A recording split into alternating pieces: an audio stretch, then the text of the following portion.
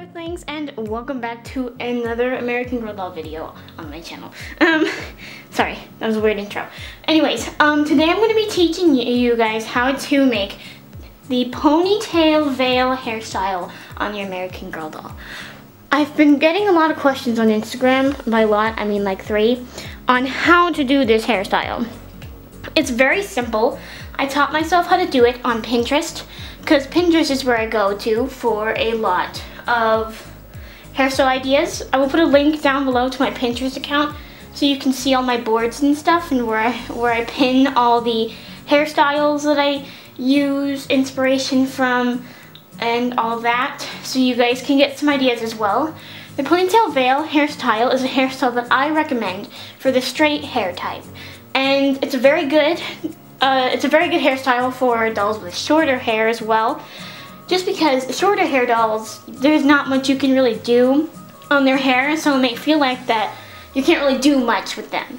But of course it is kind of more illustrious when you use dolls with longer hair. See right here I have Joss, Girl of the Year of 2020. So her hair is very layered and thin, but because it's longer, so just because of the way that her part is, it, it changes the ponytail veil. So the ponytail veil hairstyle is very dependent on the part of the doll's hair. See, her part is off center. So there's more hair on this side of her head than there is on this side. But it's a very good hairstyle to pull back and show off her hearing aid. Although it, her wig is very thin, like I said, so you do see her wig cap when you pull it back. But like I said, it depends on the doll's hair type and her part. Anakai here, who, we, who will be our guinea pig for all intents and purposes, um, has a center part. She has layered straight hair that is long and natural highlights. And because it's layered, um, of course, there are certain parts where maybe part of her head won't be able to go back into all the ponytails, but um, you know, her layers are a lot different from Joss's. But um, if I were to sit here and show you what it's like on every type of doll hair, it would, it would take a long time. A doll that I like to do the hairstyle on a lot is Miss McKenna right here because her hair um, when you have a centered part doll like my number 60 Anakai right here is, when it's centered, you usually have to pull it back on both sides to make it so. See for Joss, because she has a lot of hair on one side, but her, her, her part is off center, that just means that you might get away with going back once, going back once at the beginning, but like I said, it depends on what doll you're doing. I like to do it most on McKenna because she doesn't have a part at all. So her hair just flows back from the front and to my knowledge, she's the only doll like that as of now. So the first thing you're gonna need is a mister Spray bottle. So I use the doll brand ones. I use the American Girl one and I have a backup Our Generation one. Um, the Our Generation one does hold more, but this one does have a lighter mist.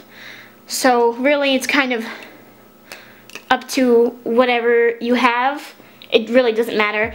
But if you don't have a misting spray bottle, I suggest that if you do have to use a normal spray bottle, to make sure that it has a misting setting. Usually this is done by turning the part the spritzer.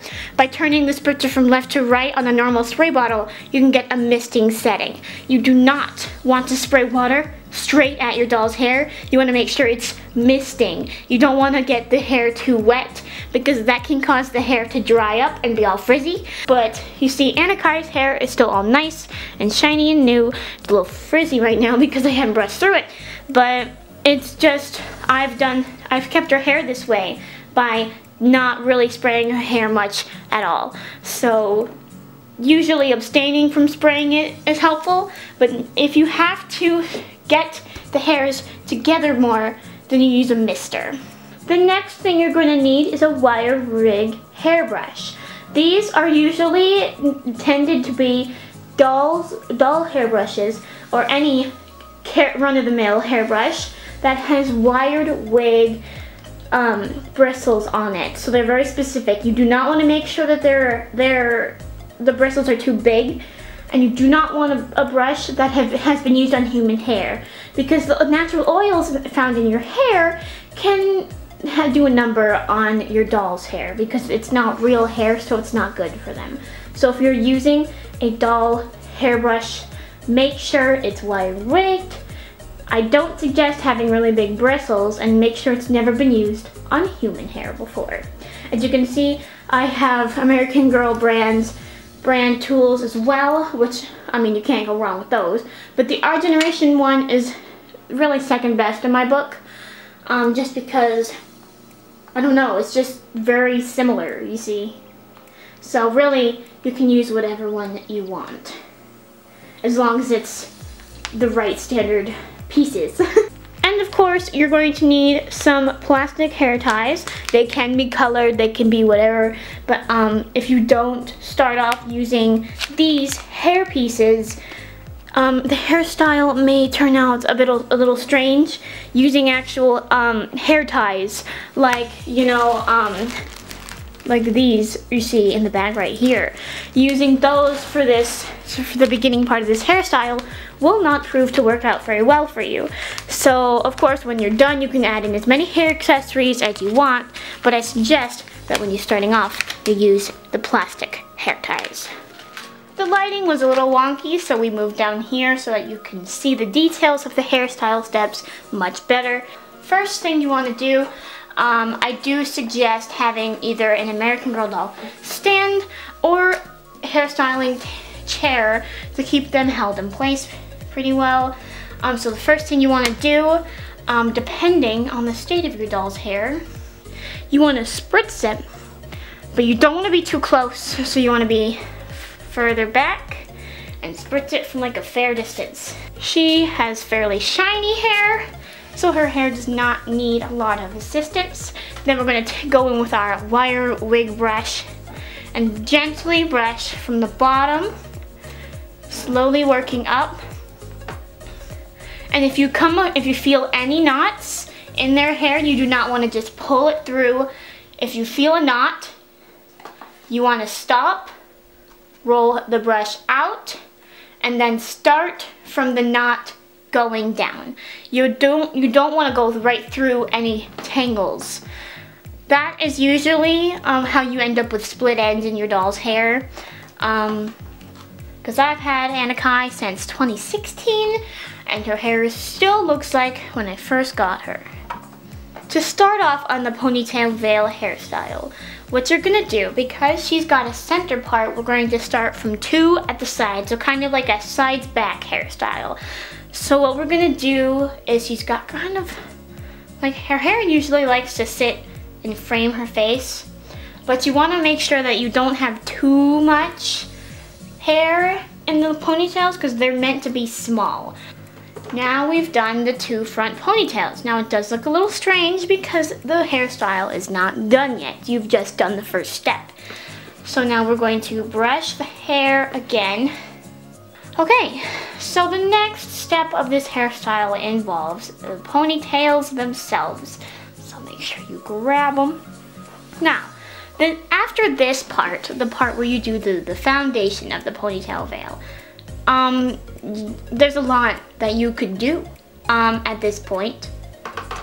So I'm gonna basically show you a basic variation of this hairstyle. Um, so what we're gonna do is we're gonna split these ponytails into two parts. I'm I'm just showing you a basic version of this. Of course, when you're more comfortable with this hairstyle and you know what you're doing, you can try any variation that you want.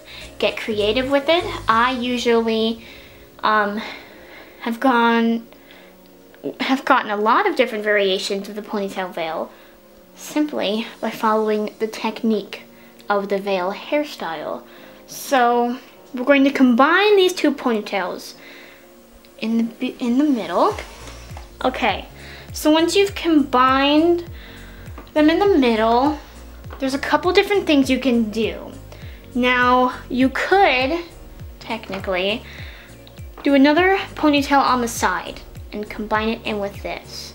But what we're just gonna do for the sake intensive purposes of this being a beginning, the beginning of your adventures with the ponytail veil hairstyle. We're, we're just gonna pull a strand of hair back from her hairline and join it to the remaining ponytail right here. So we're going to make a ponytail right here. And we will do the same on the other side. You usually do want the ponytails to be spaced out, but like I said, I'm just showing you a simple version. And so this way the, the, the hair ties are kind of all lined up anyway. So that'll make it easier. Okay, so now we're gonna go through with our comb and make sure that there's nothing stuck in the hair ties that we do not want to be. Anyone familiar with hair knows that that happens when you do ponytails anyways. There's a lot over here. Just be careful that you're not ripping the hair like out of her head. Because it won't grow back, obviously, so... Whew. So, depending on the size of our ponytails now, we could split them and keep branching off. But what I think we could do here, like I said, there are many variations of the ponytail veil, and by now you should probably be seeing. But see, we could join these, but the problem is that one ponytail would be too large. You don't want it to be too large at the very end of it. So what we're going to do is split them again. Now they're probably pretty small at this point, so you don't want to put too much. Like you want to balance the strands when you join them together. See these two and these two sides will be joined to the ponytail there, and these two ends will be joined to sides um, at her hairline. All right, so we've tied off that ponytail, and now we're going to combine another one in the middle here with this one. And we will do the same on the other side.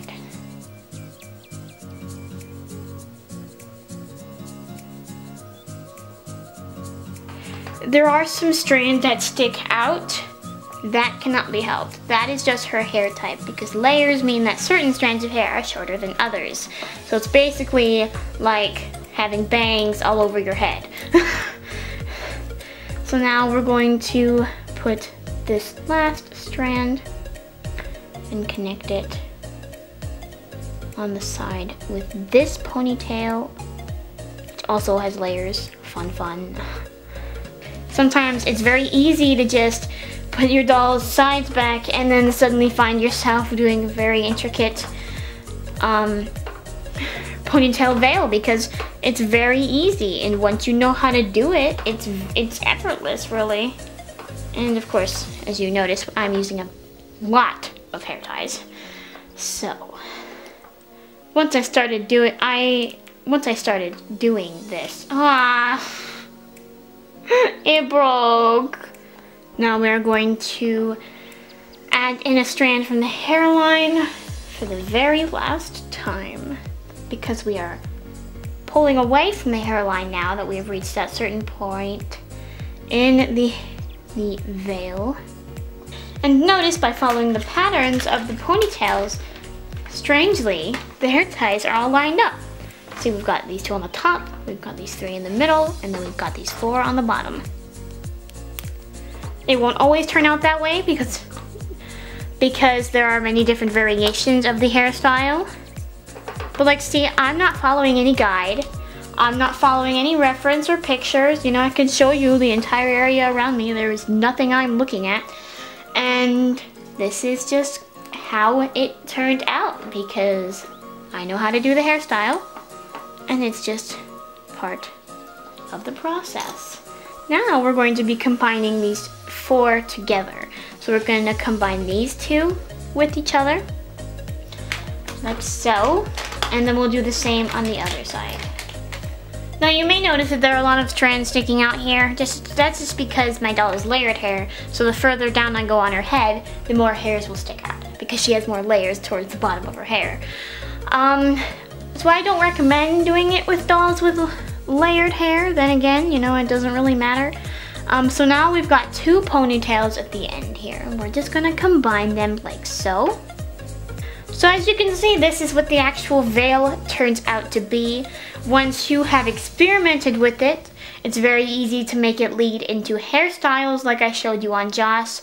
Joss, her version of the ponytail veil, led into a pony, two ponytails. So as you can see, it can lead into ponytails. Um, it doesn't look great when you lead it in with braids, but um, you know, whatever you want to do to each their own. Um, the ponytail veil premise is usually all about the top of their head. Um, it's very easy to lead it into one hair, to one ponytail, two ponytails, or to just do the veil like this. There are so many different variations of it. There are so many different variations of it, and so much fun to be had. And I hope you guys enjoyed this this tutorial. If you would like a second part to it, I can show you how to do it more in depth, I guess. I mean, um, but if you have any questions, let me know down below, like I said.